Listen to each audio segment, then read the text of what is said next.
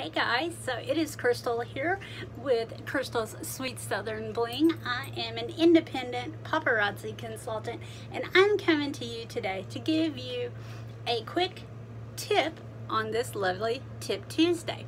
So, anymore, when we go to the store, we go out, to, we go anywhere, you gotta wear a mask, right?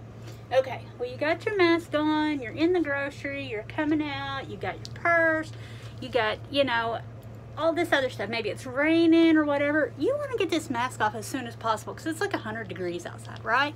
Well, let me show you what you can do. Take a lanyard with the lanyard clasp and your mask. Put it on here and guess what? Now, there's your mask on. You take it off. You still got it with you.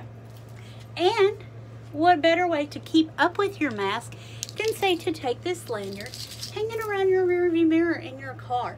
You got some cute little bling going on, plus your mask is always there.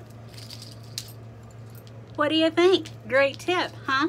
So, if you want to get your very own gorgeous lanyard. This one here just happens to be one that I do have in stock. I have more on my website at crystalssweetsouthernbling.com.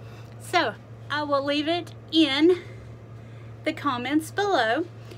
And if you want to get yours, just click on it and head over to my website. Thank you. Bye.